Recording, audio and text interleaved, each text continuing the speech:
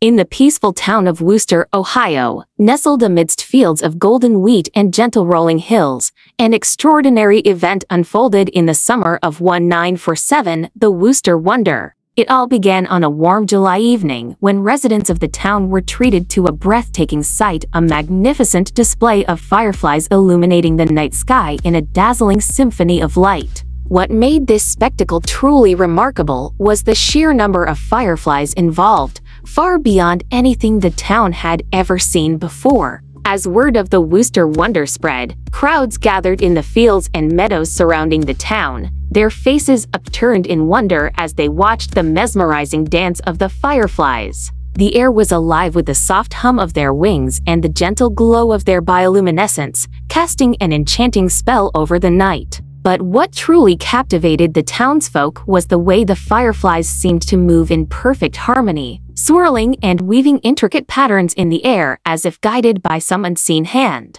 Some claimed to have seen shapes and symbols formed by the lights, while others spoke of a sense of peace and serenity that washed over them like a gentle breeze. As the night wore on, the Wooster wonder continued unabated, captivating all who beheld it with its beauty and mystery. Scientists and scholars flocked to Wooster to study the phenomenon, but their efforts yielded no definitive answers, leaving the true nature of the Wooster Wonder shrouded in mystery. To this day, the Wooster Wonder remains a cherished memory in the hearts and minds of the town's residents, a reminder of the magic and wonder that can be found in the most unexpected of places. And though the fireflies may have vanished into the night, their legacy lives on in the collective consciousness of those who were fortunate enough to witness the Wooster Wonder, a timeless reminder of the beauty and mystery that surround us every day.